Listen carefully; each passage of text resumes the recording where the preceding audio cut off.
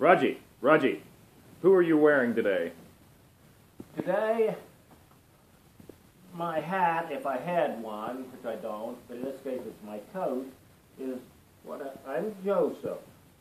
Joseph, the youngest, for a while to tell his, Benjamin. Till Benjamin came along, Mm-hmm. the son of of Jacob. Jacob, the one that wrestled with the angel. They said he won. I heard he had a bad hip ever after, even if he won, but he, he forced the blessing out of an angel. But I don't know if that authorized to give the blessing. But anyway, this is my coat of many colors.